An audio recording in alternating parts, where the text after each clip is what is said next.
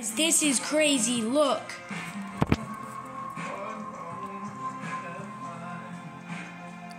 It's literally chapter three finale.